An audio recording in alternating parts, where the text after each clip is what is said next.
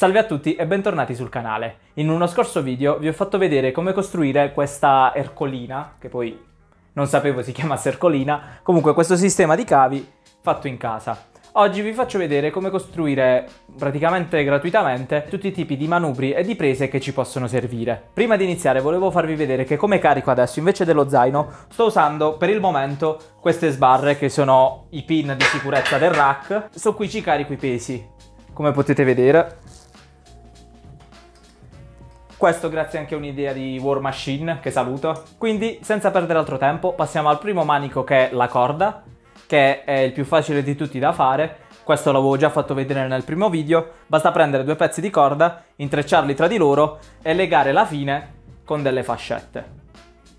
Questa ce l'ho da un po' di anni e non mi ha mai dato problemi. Per metterla basta semplicemente fare così o ci potete attaccare un moschettone permanente e a posto.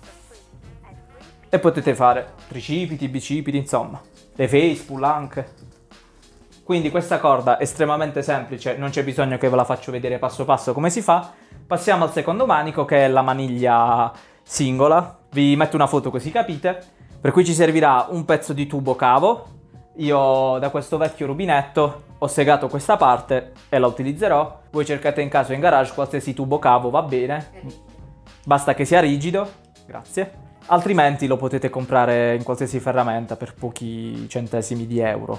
Oltre a questo ci servirà una corda simile o uguale a quella che abbiamo utilizzato per la carrucola e poi il, credo si chiami grilletto a 360 gradi, insomma, questa parte che costa, l'ho pagata un euro in ferramenta. E come si fa? Molto semplicemente facciamo passare la corda all'interno del tubo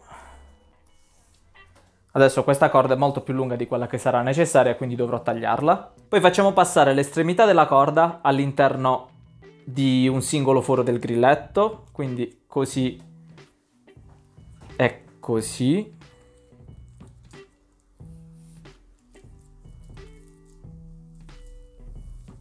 Way. Ok. Si può già iniziare a intravedere la forma. Adesso dobbiamo solo fare un nodo per bloccare il tutto. Quindi da questa posizione facciamo passare questo pezzo avanti e questo pezzo indietro, in questo modo. In realtà non è, credo, necessario farlo, comunque.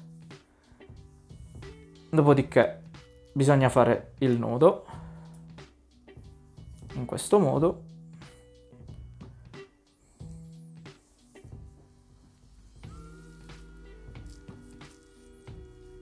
e basta stringere.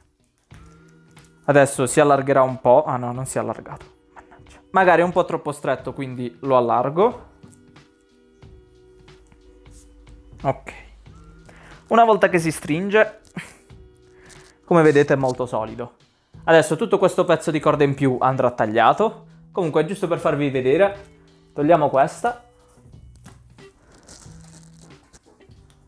E appoggiamo questa. E come potete vedere è estremamente funzionale. Adesso il peso è pesante, quindi lo sto facendo con due mani. Il fatto che la corda passi in mezzo al tubo fa sì che il tubo, mentre scendo, ruoti, proprio come un manico vero e proprio. E questo, e questo grilletto fa in modo che io possa girare in qualsiasi direzione senza disturbare il percorso della corda nella carrucola. Adesso taglio la corda in eccesso e vi faccio vedere il risultato finale. Bene, l'ho tagliato e questo è il risultato. L'unico problema che potrebbe sorgere nel corso del tempo è il fatto che la rotazione che c'è all'interno del tubo con la corda la andrà a consumare. Però a cambiare la corda non ci vorrà niente, sicuramente ci vorranno parecchi mesi prima che si consumi. Adesso con questa sbarra darò la dimostrazione di due manici contemporaneamente, ovvero sia quello largo per fare il lat pull down e la sbarra dritta per fare le estensioni per i tricipiti o comunque altri esercizi. Quindi se si vuole rimanere proprio sul semplice, basta semplicemente infilare una sbarra dritta all'interno del moschettone e già così può funzionare. Come vedete si possono fare gli esercizi senza problemi. Però non vi consiglio di lasciarla semplicemente così perché potrebbe slittare anche se io in realtà lo sto utilizzando così per ora, vi consiglio di, di mettere due cravatte e due fascette al centro della sbarra, in questo modo il moschettone, in caso volesse slittare, non può farlo perché ci sono le cravatte. Pensavo di avere un po' di cravatte in giro nel garage, però purtroppo non ne avevo. Comunque per farvi capire, sono queste qua.